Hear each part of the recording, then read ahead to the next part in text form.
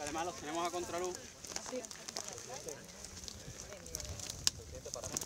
El terreno va subiendo. Acaba teniendo una respuesta más rápida.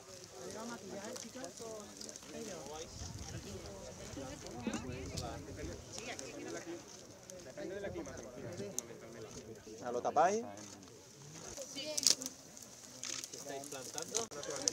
Un piérnago. La piérnago. ¿Esta aguanta? ¿Aquí dónde está? Que bien hecho de otra manera, bueno.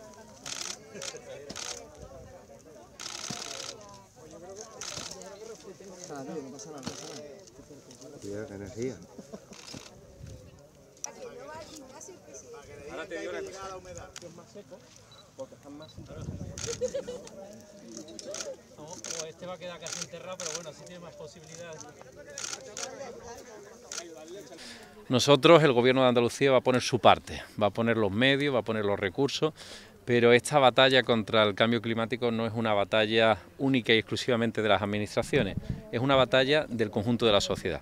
Por eso yo agradezco a estos alumnos, a sus profesores, a todo el personal, en definitiva, que nos ayuden en esta repoblación que se está haciendo hoy aquí, que no solamente sirve para repoblar lo dañado por el, incendio del 2017, sino también sirve para concienciar, para aprender y para entender todo este bellísimo ecosistema que tenemos en Doñana.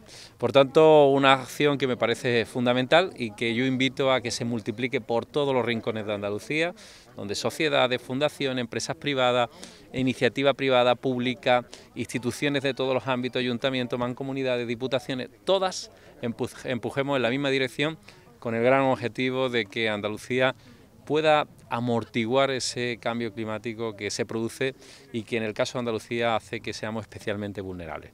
Por tanto, vamos a seguir trabajando desde el Gobierno andaluz con toda nuestra énfasis y con la máxima coordinación y máxima cooperación para esta pelea, esta lucha que vamos a tener para evitar que nos cambie nuestro clima y por tanto nos cambien nuestras condiciones sociales, laborales y por tanto también nuestro bienestar.